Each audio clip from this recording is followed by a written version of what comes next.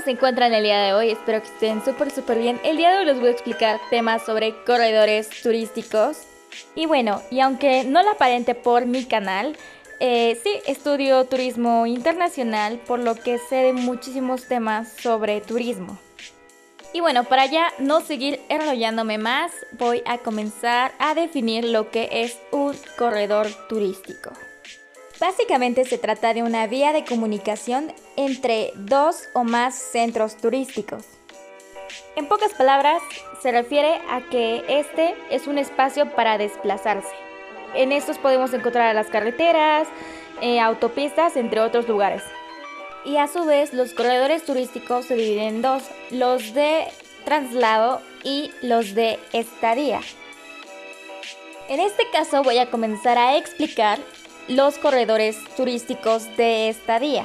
Los corredores turísticos de estadía, como su nombre lo dicen, eh, son aquellos en los que los turistas pasan la mayor parte de sus vacaciones ahí. Por eso son de estadía, son lugares en los que los turistas se pueden relajar, pueden visitar y se encuentran varios eh, atractivos que la mayoría de las veces se encuentran contiguos. La mayoría de estos atractivos turísticos de estadía se encuentran súper cerca de las costas, de los mares, de los ríos, de algunos lagos. Estos deben ser superficies alargadas, además de que su anchura no debe rebasar los 5 kilómetros.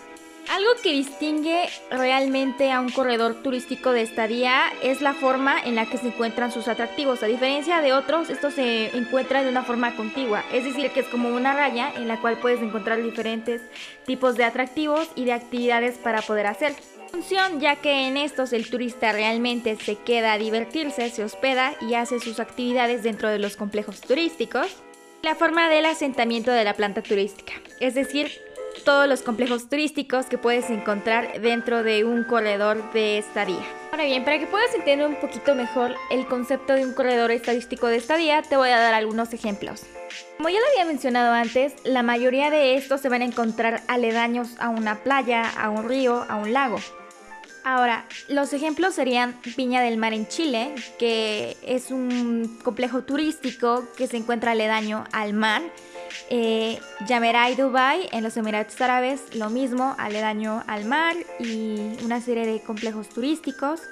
Pues aquí en, el de Dubai pues se encuentra este famosísimo hotel llamado Burj Al Arab, que es el único hotel en todo el mundo con 7 estrellas. El río Nilo en Egipto, si bien el río Nilo tiene una extensión territorial inmensa. Eh, en las partes que se encuentran dentro del Cairo, partes que están dentro del Cairo se consideran como un complejo turístico de estadía por todos los complejos turísticos, hoteles y actividades que se pueden realizar dentro de el río Sena en París debido a que igual es uno de los países más visitados del mundo, París, y en el río Sena existen una complejidad inmensa de lugares turísticos eh, al lado de lo que es el río.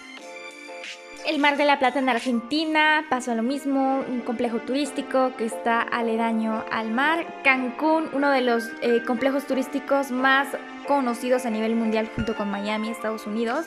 Eh, pues ambos se tratan de complejos turísticos mundialmente famosos, mundialmente eh, buscados por los turistas, donde puedes realizar actividades en los complejos turísticos, en, los hoteles o inclusive hacer otro tipo de actividades cercanas a todo este eh, corredor turístico de estadía.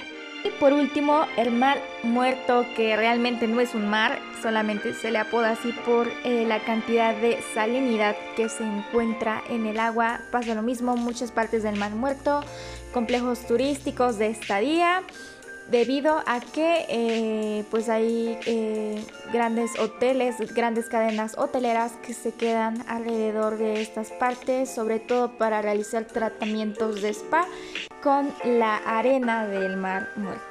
Ahora para finalizar vamos a hablar sobre los corredores turísticos de traslado. Como su nombre lo dice, se trata de la vía de traslado.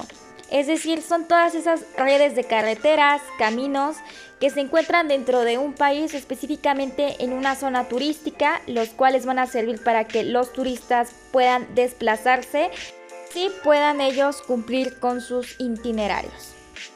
En este tipo de corredor turístico no es necesario que haya un grandísimo paisaje de fondo, que se vea todo súper espectacular, pues su única función es esa, ser una vía de acceso, ser una vía de redes de carreteras y caminos para que el turista pueda llegar a su destino.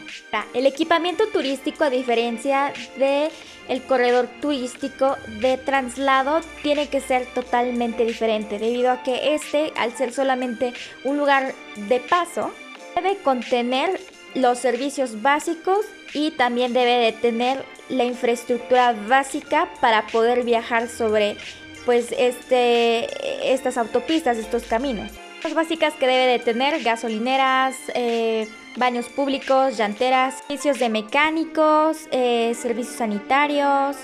Y obviamente todos estos tienen que estar en muy buen estado. También en estos eh, corredores turísticos de traslado deben de contar con hoteles de carretera, moteles de paso, para que el turista pueda descansar en lo que viaja a su destino, porque pues algunos lugares son pues de una extensión territorial grande para llegar a ese destino, por lo cual tienen que moverse a través de la vía de carreteras y autopistas de cierto lugar.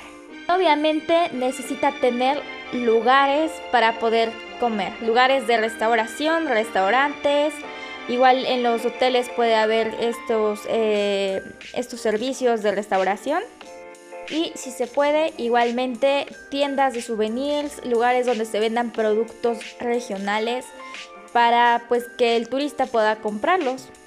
Para finalizar, ¿qué es lo que distingue un corredor turístico de estadía a uno de traslado?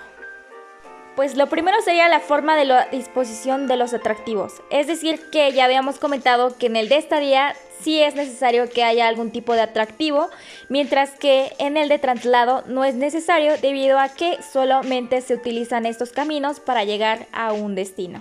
La forma del asentamiento de la planta turística, pues es decir, todos eh, estos eh, atractivos también podrían ser todos los complejos turísticos que se pueden encontrar en ambos. Ya habíamos comentado que son totalmente diferentes. Los de estadía eh, generalmente son resorts y los de traslado pues no, son hoteles de carretera. Igualmente en los corredores turísticos de estadía pues se encuentran hoteles de 5 estrellas, eh, eh, también restaurantes eh, pues gourmets, mientras que en los de traslado solamente son restaurantes para poder comer, son restaurantes de paso, restaurantes de carretera.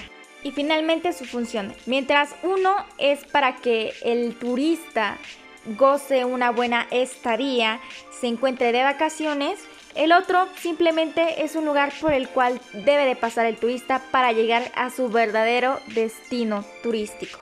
Y bueno amigos míos, hasta aquí el video de hoy, espero que les haya gustado. Si, y si, si les gustó, espero que me dejen un like, que lo compartan y si quieren ver más videos como este, por favor déjenlo en la cajita de los comentarios. Nos vemos.